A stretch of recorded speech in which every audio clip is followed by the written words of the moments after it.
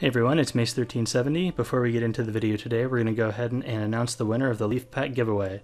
So I have here the URL for the video where everyone commented to enter the contest. We'll go ahead and pull those comments. There are 22 unique comments, so you have a 1 in 22 chance of winning. Drumroll please. Congratulations, Alan. Uh, I will be reaching out over Discord um, sounds like he's been re-gearing his uh, Adventurer Ras, so that's awesome. All right, well, let's go ahead and get into how to make a great GVG defense.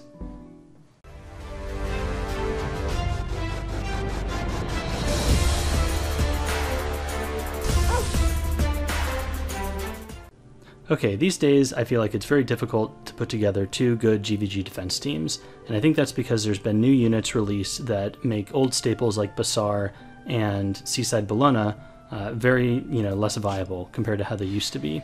Uh, namely, you know, Holiday Yufine for Basar and Roana for SSB. Um, now, I think there's four main factors that make a good GVG defense team. The first of those factors is RNG. So, what do I mean by RNG? RNG is the ability of your team to perform way above its standard level of performance. And there's two main heroes that I think are going to increase RNG on your teams. The first of those is Charles. Charles has a ton of RNG baked into his kit. Um, he typically is run on Elbris, which gives him a chance to attack whenever any of his allies are attacked.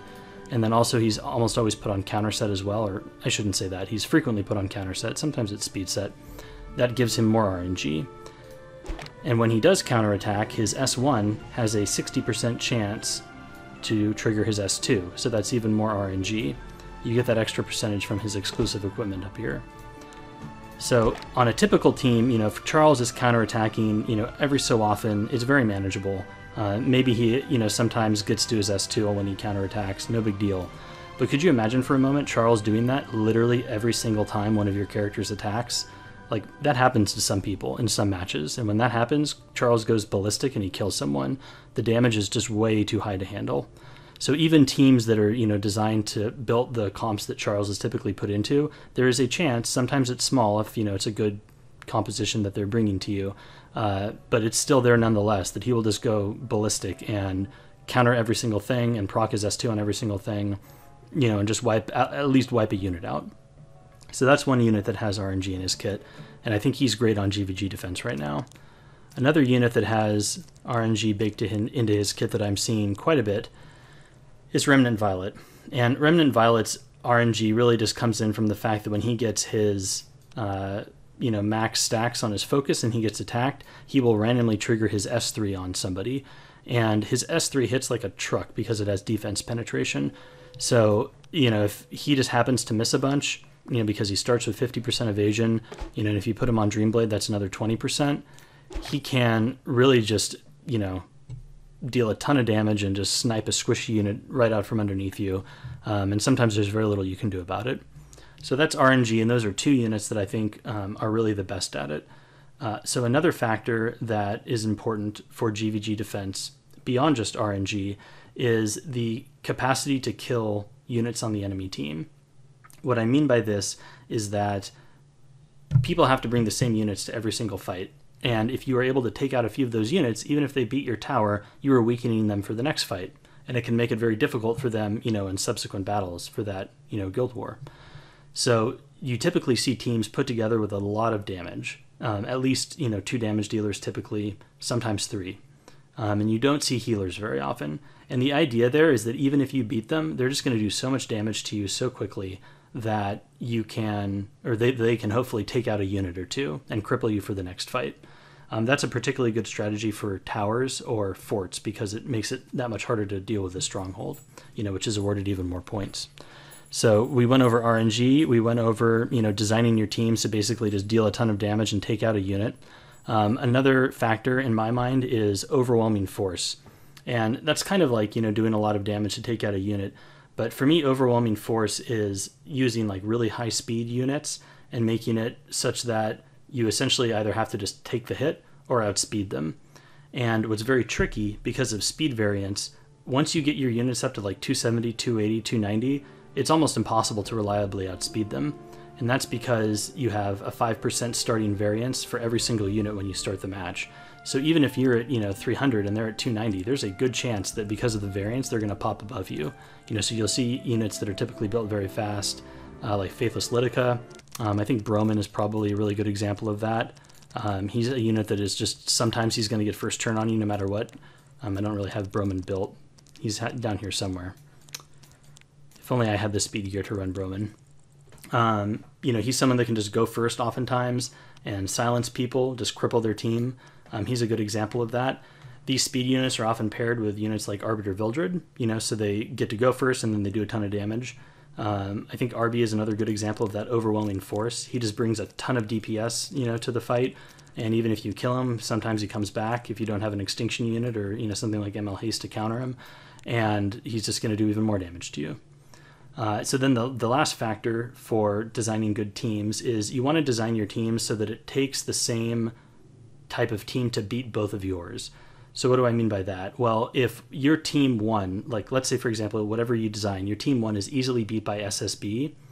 If that's the only weakness for your second team, they usually they only have one SSB, so they can't you know bring bring her to both fights, um, and so that creates a dilemma for them. Who do you bring SSB to? Um, so that's another strategy. So we can look at some of the teams that my guild has put together uh, to go through some examples of how to you know implement the, these four principles. Um, you can see we got the little border. I think we finished in the top 100 last season. So we were fighting good guilds, um, and some of the defenses uh, that we had worked pretty well, I thought. Um, so here's one of our forts with Tactus. I think this is one of the strongest GVG defenses we have. Um, he implements pretty much all of the principles that we just talked about. So you can see in this first team, he has two really high speed units and a high damage unit. So that's that overwhelming force. Um, he has Basar here, who is probably on Abyssal Crown, so that's that RNG we talked about. You know, Crown can, even if Basar misses, he can still Crown stun you. Um, and imagine how horrible it would be if all three of your guys got Crown stunned, like you would just die to RB. Um, and having two speed units means that that variance is going to go up even higher, making it very hard to outspeed this team. Um, so, you know, you might have to just hunker down and try to find some way to outlast and let them, you know, have turn one. Turn two here, he has Charles, so that's a lot of RNG. He also has Broman, another high speed unit who can also hold Crown, even more RNG, you know, and then has the speed for overwhelming force. And because both of his teams have high speed units, you need high speed units to outspeed both of them. So that's that principle of, you know, the same thing beating both teams. You might have a, a unit that can outspeed one team, but maybe not enough speed units to outspeed both of his teams. Um, so I think that's a, a good set of teams right there that you know is difficult to handle. We can take a look at Blade Runner here, who also has some very strong teams. So this first team composition is one of the meta ones you see, RB, FCC, and Charles. Uh, this team is very strong because it has the RNG from Charles. FCC is just the most mitigation you can possibly get in a single unit. And then RB brings a ton of damage, you know, and he can come back and if he gets his basket, then he's just gonna, you know, wreck face basically. Um, this team is uh, unfortunately beat by Dizzy, Garmin, and Achates. Um, that's usually what I do when I you know go into this team when I'm on offense. Uh, but that said, sometimes you know if RB just procs basket over and over again and Charles goes bananas, like it can get really scary. So even the team that consistently beats this can still lose, and that's I think the key to making a good defense team is that you know the opponents are coming in and fighting AI characters, which are always going to make the same decisions, and they're just they're never going to be as good as a human player. So you, know your defense teams are at a big disadvantage. Um, so if you can design a team that can just sometimes win, that's pretty much the best you're going to get. Uh, his second team down here also has some uh, good principles that we talked about. Uh, the Remnant Violet adds RNG, so you know Violet can proc his uh, full stack, you know S3 on some random person and just take out a unit. Uh, can weaken them for the next round. Uh, Alencia here uh, can strip and can help prevent SSB from autoing this team. So, also very good options. Ruel is probably the one exception I've seen with putting a healer on your defense team. So even if they try to take out Rylet, you know, she can res him and then he can maybe get his S3 off. Um, I think, you know, Ruel is a solid choice to put on defense. She's the only healer I would run though. Uh, so we have another fortress here, Paradox you can see he's running this exact same comp as Blade Runner uh, for the same reasons. It's a it's a very strong team. Um, it'll beat you know teams um, some percentage of the time, even against you know well well geared players. Uh, this bottom team here is interesting. Um, SSB is not seen on defense as much anymore because of Roana. Um, you know, I think that even if you brought Roana into this, you would run the risk of Alencia stripping everything and then SSB debuffing everything and putting unhealable and buff block. And, you know, if you don't have a cleanser or something like that, you could be in trouble. Um, and even with Roana, get overwhelmed. So I think that's what Paradox is going for there on round two. Uh, then we can take a look at my team. I think my teams are okay. They're not amazing. Um, I'm running uh, Kayron, Charles, and FCC for round one. This is very similar to just plugging in Vildred here. Kayron is basically just big damage. Um, Charles is the RNG, and then FCC is the um, you know mitigation. And sometimes her provokes can be very annoying as well. Um, I think this is a strong team. Um, I think that it also loses to Dizzy, Garmin, and Achates. And ideally, my second team would be designed in that same way, but these are just the units I have, and I haven't found a better second one here. My thought with round two is that I have RNG with Rylot, and then I have a ton of damage with Vildred, and I mean, Rylot also does a ton of damage as well.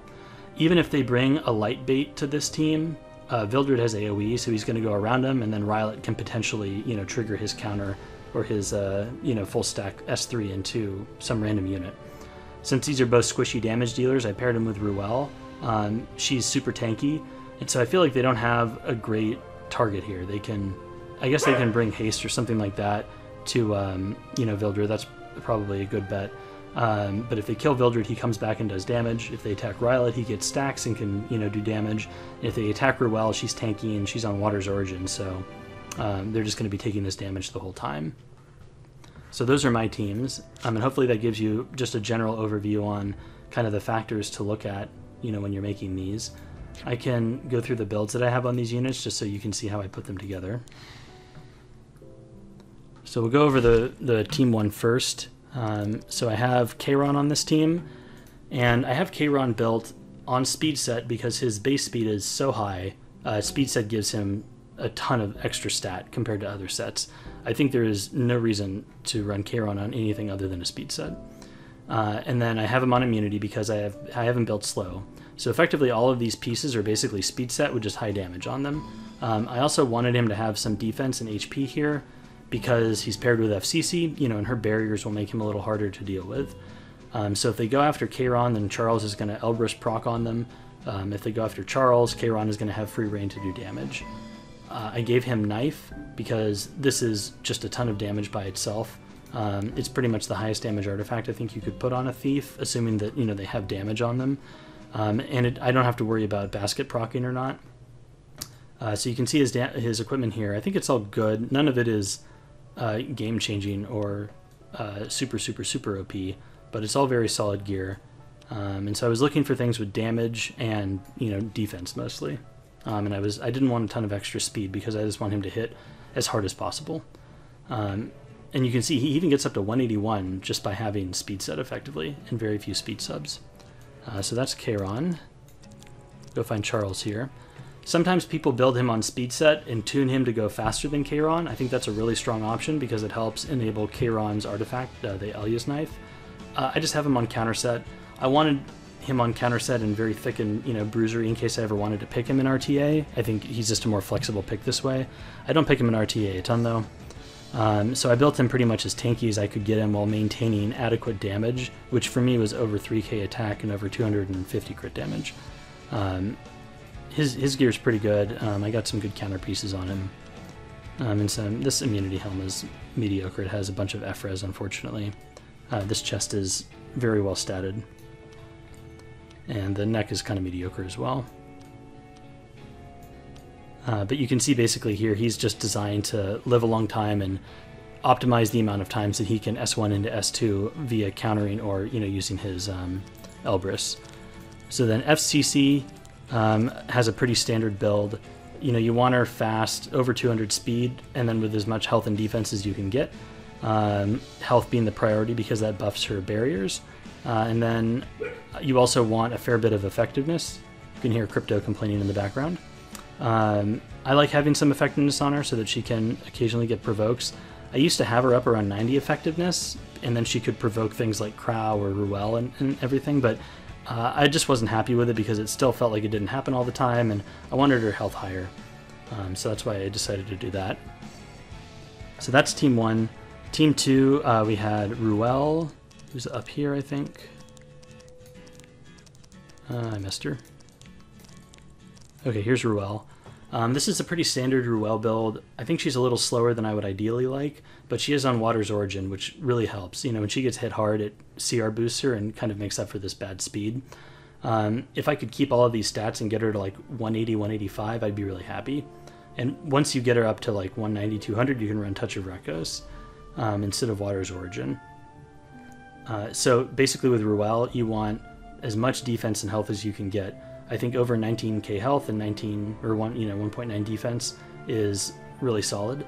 Um, the speed I mentioned, and then I like having her on at least 150 ER. And if you can get 150 ER while keeping immunity, I think that is very powerful. Um, it really makes your ER that much more effective because everyone has to do the check to remove the immunity buff with a strip first, and then another check, you know, to debuff you. Um, so it really increases the amount of times that she's going to get out of, you know, getting debuffed. Um, her gear is good, not amazing. Like this sword is pretty crappy. Uh, this helm is good. The chest is good. Um, I haven't found a great Soul Weaver sword yet. I also have, this is like the best Soul Weaver neck I have, and it's not great. Um, her ring is solid. She's getting a lot of her speed from this ring. I wish it had percentage defense though instead of flat defense because her base defense is super high. And then these boots are amazing, and these were the first Hellraid boot I got and the only Hellraid boot I got, and they rolled super well. So I was pleased with that. So then we have Arbiter Vildred. Um, Arby is a pretty standard build. You want him fast uh, because if he can get his S3 off before an enemy, you know, buffer like Dain or something like that can put up, um, you know, anti or crit res buff or defense buff, I think that's very strong.